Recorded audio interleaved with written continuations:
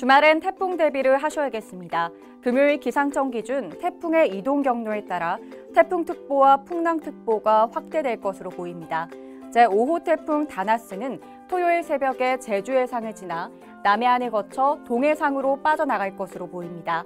다만 태풍의 이동 경로가 유동적이기 때문에 최신 기상 정보를 틈틈이 확인해 주시기 바랍니다. 전반적인 지수 보시면 대부분의 해상에 태풍과 풍랑, 호우특보까지 발효된 만큼 매우 나쁨으로 붉게 물들어 있습니다. 먼저 서해안 보시면 초속 13m 이내 강풍과 4.8m 이내 매우 높은 물결이 예상됩니다.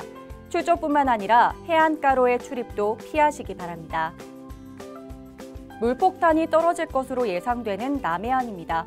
최고 500mm의 세찬 비와 함께 강풍 주의보가 발효될 정도로 매우 강한 바람이 불어 위험하겠습니다. 동해안도 비바람이 매우 강하게 몰아치겠습니다. 태풍이 모두 지나갈 때까지 출조 계획은 미루셔야겠습니다. 끝으로 제주도 출조뿐만 아니라 외출 자체를 주의하시기 바랍니다.